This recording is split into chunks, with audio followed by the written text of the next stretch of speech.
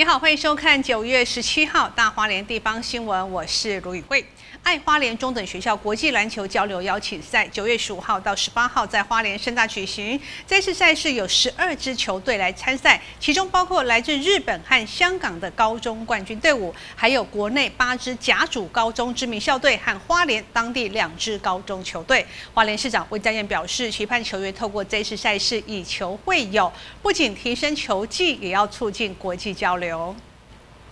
花莲县体育会主办，花莲市公所指导的爱花莲中等学校国际篮球交流邀请赛，九月十五号到十八号在花莲盛大举行。这次比赛有十二支的球队来参加，包括来自日本、香港的高中冠军队伍，还有国内八支甲组高中以及各校校队和花莲当地的两支高中球队来比赛。赛事过程非常精彩。啊，会办理这次的比赛赛程，我主要是因为想要提升花莲的篮球水水准。那也因为地震后来花莲观光的人数比较少，那也顺便跟外县市的还有国外的球队推广花莲的观光。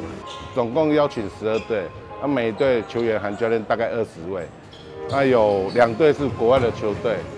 有八队是国内甲级的甲组的高中球队，然后两两队是花莲本地的高中球队。那这次赛程强度非常高，真的很欢迎大家来到场内观看。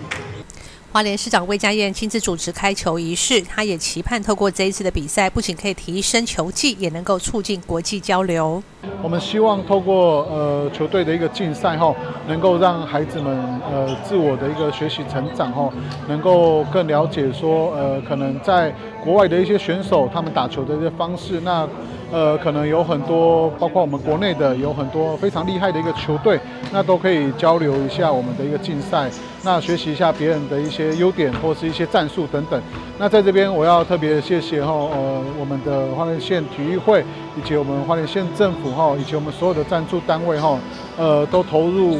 非常相关的一些协助哈，让我们这场球队球赛后能够可以比赛起来。那后续后，我们也希望说能够邀请更多国外的一些球队哈，来跟我们呃台湾的球队做一个交流。那尤其是刚刚也有提到哈，我们友好城市，我们的姐妹市是不是有这样的一个呃篮球队，或是其他的一个体育的项目，我们都会持续的为孩子们来争取这样的一个球赛。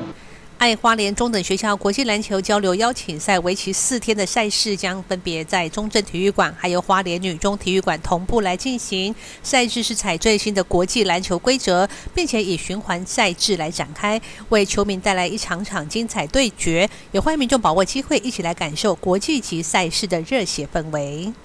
记者会欢迎报道。